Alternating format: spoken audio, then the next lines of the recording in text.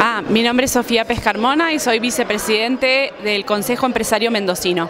Bien, ¿cuál es el trabajo que ustedes vienen haciendo con, con los directivos y el curso de líder? Nosotros estamos formando directores de escuela secundaria en herramientas de gestión, de planeamiento de proyectos, de liderazgo de personas y de trabajo en equipo y nuevas tecnologías con el objetivo de que ellos mejoren su capacidad de liderazgo, transformen su escuela y mejoremos la calidad de la educación para nuestros chicos. ¿Y cómo es que vienen trabajando conjuntamente entre directivos y empresarios? ¿Cómo, cómo llegaron a esa idea y cómo? Eh, llegamos a esa idea desde, desde otro proyecto que había en Córdoba similar, eh, hecho por otro grupo de empresarios y bueno, y con la firme convicción de que si no tenemos eh, jóvenes capacitados o con buenas actitudes para ingresar al entorno laboral o a las empresas, nunca vamos a poder tener empresas exitosas. Entonces decidimos involucrarnos en la educación, en, ser parte de la comunidad educativa, de no pensar que, que tenemos que no somos parte, que tenemos que ayudar a mejorarla.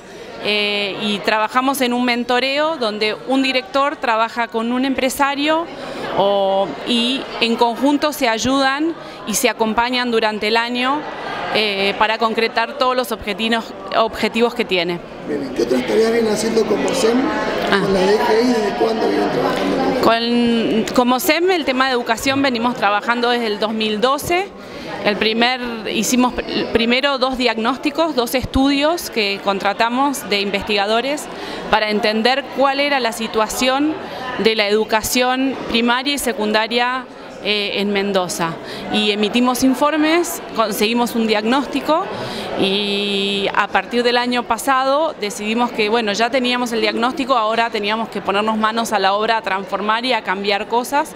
Y elegimos al director como nuestro foco de transformación porque, porque tiene un poder de influencia importantísimo y porque es el líder de la escuela eh, y él puede ayudar a que los docentes eh, también se vean como líderes eh, de sus aulas. Y la última pregunta, vos decías cuando presentaste la, la, la ponencia que ustedes vienen trabajando con la DGE desde antes. Digo, ¿qué trabajos en especial vienen haciendo con la DGE desde el año pasado o anteriormente y este año?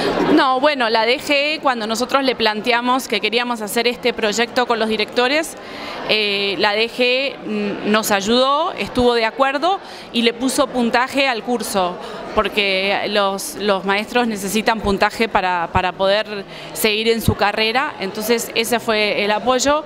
Este año con la DGE, de, con el equipo de Jaime, eh, lo que hicimos fue mejorar el programa, ellos nos pidieron que les interesaba que el programa también tuviera una pata de excelencia pedagógica y salimos a buscar a la Universidad de San Andrés a los mejores docentes en ese área para incorporarle eh, dos módulos por año sobre excelencia pedagógica al programa ya existente.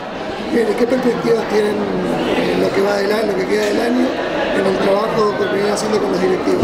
Bueno, las perspectivas son seguir trabajando, esto es un, la- un trabajo a largo plazo, eh, queremos, que, queremos crecer, queremos seguir eh, capacitando cada día más a más directores que se sumen y, y que ellos a su vez transformen sus escuelas.